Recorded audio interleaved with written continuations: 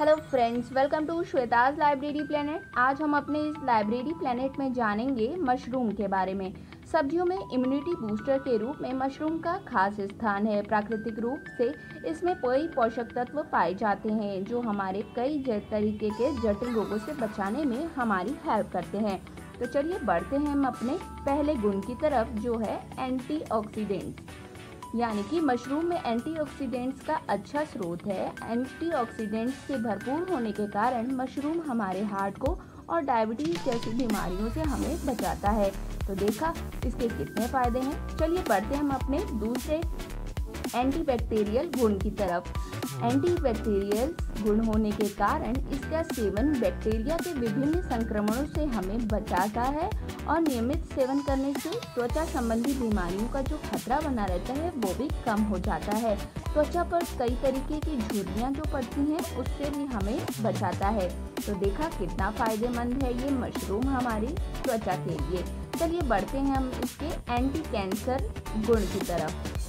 Anti cancer गुण mushroom के शक्तिशाली गुण माना जाता है। कैंसर की कोशिकाओं को ये नष्ट कर देता है और ट्यूमर सेल्स के विकास को रोकने में भी ये मदद करता है।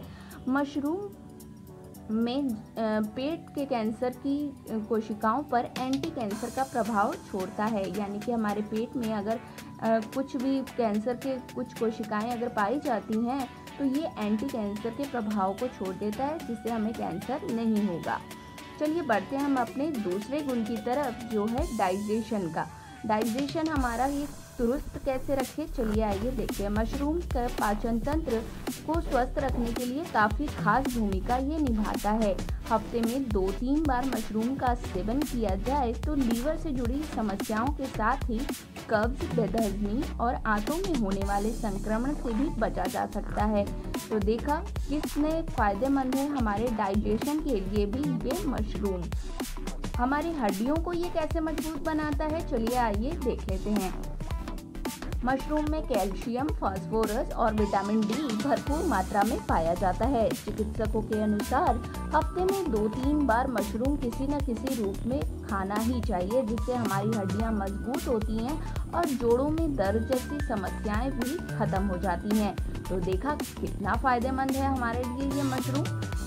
तो हम अपनी डाइट में किसी भी रूप में, सब्ज़ी के रूप में या फिर सूप के रूप में इसे इस्तेमाल कर सकते हैं। अफकोर्स यार रेसिपी तो इतनी अच्छी अच्छी मशरूम्स की हैं। आप पनीर मशरूम खाइए, कढ़ाई मशरूम खाइए फ्राई मशरूम खाइए, इतनी है। मशरूम का सूप बनाइए और पीजिए तो आपकी सेहत के लिए हमेशा फ़ायदेमंद रहेगा। आप खुद भी खाइए और दूसरों को भी इसको ज़रूर खिलाइए, ताकि वो भी हमेशा हेल्थ और वेल्थ ही रहें। हमारा ये आज का वीडियो अगर आपको पसंद आया तो दूसरों के साथ शेयर करना बिल्कुल भी मत भूलिएगा व्यूअर्स और श्वेताज लाइब्रेरी प्लानट को सब्सक्राइब करना बिल्कुल मत भूलिएगा। Thank you for watching